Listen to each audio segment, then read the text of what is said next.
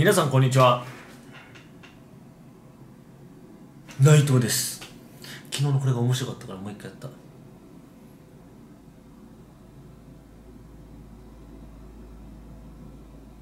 内藤です。ということで、えー今日はですねちょっとハードな撮影がね終わっていやすごかった。精神的に今までで一番きつかったのが終わって今ね開放感に溢れてますね。えー、全ての謎はね、えー近々動画で解けるんでぜひ皆さん楽しみにしてください。で今日は何をするかっていうとうーんふんふんふんえーインスタグラム。やっぱ最近はねインスタグラムはすごいらしいですね。今日も俺テレビ持ってないんだけど吉野家で牛丼食べれたらテレビが流れててインスタグラムのいいねをもらう方法とかインスタグラム入門みたいなやつ今やっぱ若い人たちっていうか流れは SNS の流れはインスタグラムなんだなってね改めて実感しました。でちょっとね今回はインスタグラムみんなもやってるかな僕もねやってるんでそれの宣伝をしようかなと思って。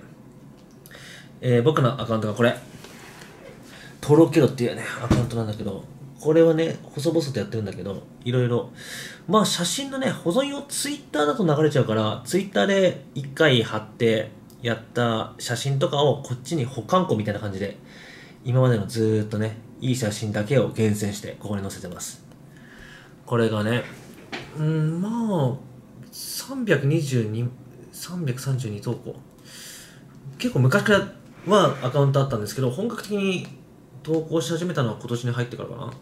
まあ去年もやってたか。昔は本当タイで撮ったあの画像とか街の風景とかが中心で結構ね昔の画像もねこだわってるんですよね。こういうやつとか。結構すごくない？今見返して思ったんだけどこういうのね RX100 マークこの時は3かで撮ってたんですよね。高級コンデジで。ちょっとおしゃれな画像とかね。こだわって撮ってたんですよ。で最近はもっぱら自撮りっていうね。あーこういう風景画もいいな撮るの。すげえおしゃれに撮ってるほんと初めの方とかって iPhone5 で全部撮ってたんだよね。それでもね自信作は結構あるよ。例えばねこういうやつとか。これタイのお寺なんだけどものすごくカラフルなお寺、昔のも見返しても面白いな。ほんとタイ時代の時だね。ということで、えー細々とやってます。これもね今後更新してってまあ Twitter のねあの上げた画像をこっちに持ってくるだけじゃつまんないんでねこういう昔のこだわった風景画とかも上げていこうと思ってるんでぜひフォローの方お願いします。こっちも目指せ10万フォロー。インスタ上になります僕は。インスタ上になります。更新も頑張ります、うん。そんなとこですかね。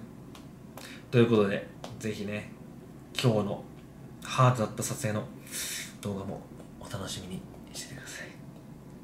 以上です。おやすみなさい。バイチャ。